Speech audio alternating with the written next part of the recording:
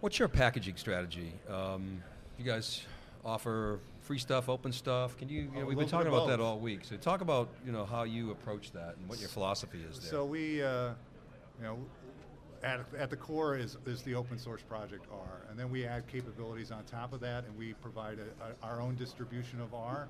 It's called Revolution R Enterprise, um, and that is what we sell into uh, enterprises and, and corporations.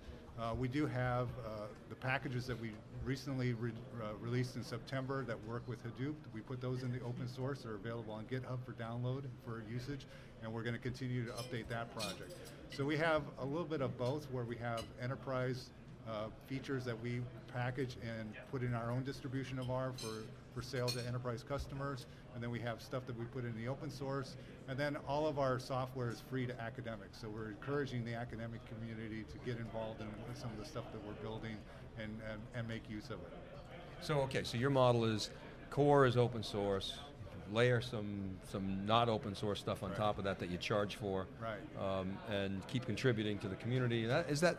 I mean, it seems to be the right balance, right? A lot of people have have criticized those who don't put things into the open source. And I, what is you know this community sort of?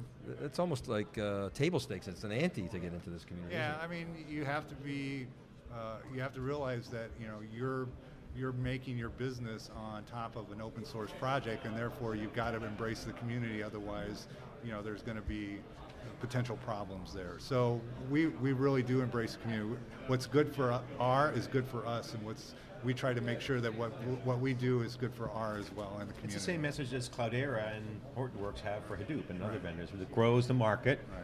You guys take advantage of that, you know, SLA level support and needs. Is that the same kind of uh, business model?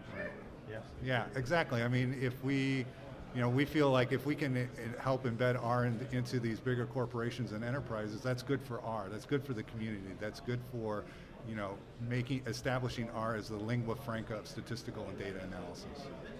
Okay.